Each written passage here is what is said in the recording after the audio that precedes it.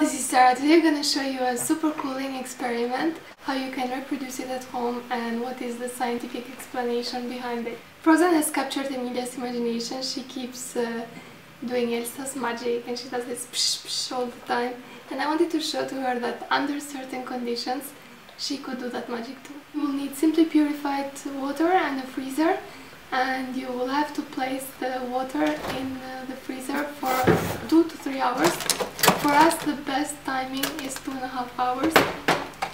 We tried several brands and the brand that works worked the best was the brand that has very light water. After two and a half hours have passed, we remove the water from the freezer, but you have to do it very slowly, otherwise agitation could uh, transform the water straight to ice.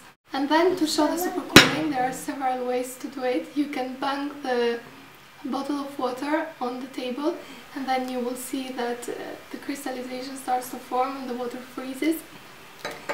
Or you can use this little piece of ice, place it into the water and you will see an exponential growth of ice and the whole, eventually the whole glass of water will turn into ice. When, when you pour the water into the glass, do it slowly.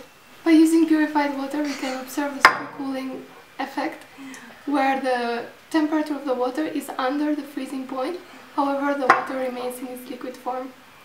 The, the crystallization of water starts under a seed crystal which doesn't form very easily in a purified water. Wow!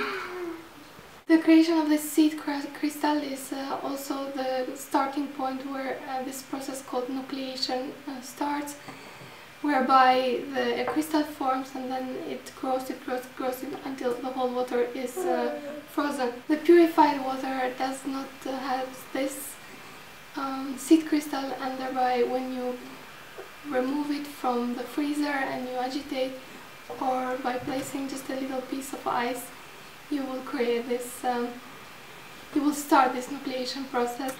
This was all. Thanks a lot for watching. Don't forget to subscribe and I'll talk to you soon. Bye bye. Bye bye.